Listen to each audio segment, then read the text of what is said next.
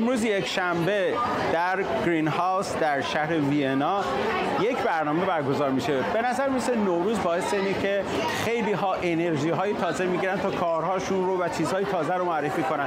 در این برنامه کسب و کارهای جوان ایرانی به منطقه معرفی میشه.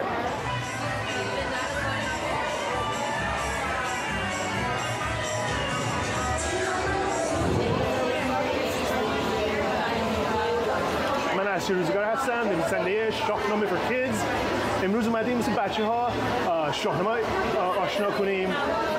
کتاب رنگ دارم مثل رنگ کردن داستان خانی خیلی فوق العاده است. به هر سال سال نو رو با هفسین رو به بچه ها یاد میدیم. معنی های هفسین رو که چه معنایی دارن برای سنت و این یک فرهنگ بسیار قدیمی باستانی ایرانی. درود. ناهید خجسته هستم از آموزشگاه فارسی کوروش. کار من 15 ساله که تدریس فارسی می‌کنیم تو منطقه استرلینگ ویرجینیا. کار آموزش زبان فارسی موسیقی سازهای سنتی آموزش رقص ایرانی. سال نو رو پیشا پیش به همه عزیزان تبریک میگم.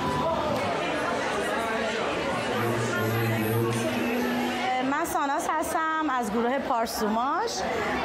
ما یه ایونت اینجا برگزار کردیم در این مجموعه که در واقع بتونیم اینجا یه سری بچه های جوون و دورن از فضای ایرانی برای معرفی کردنشون به بازار آمریکا دور هم جمع. مرجان ترابی امروز اومدم نمایشگاه نوروز مارکت تو وینا.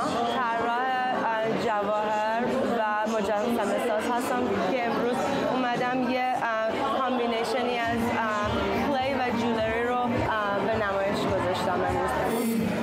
داستان شاهنامه I'm going to do a story of young Rostam, بچگی رستم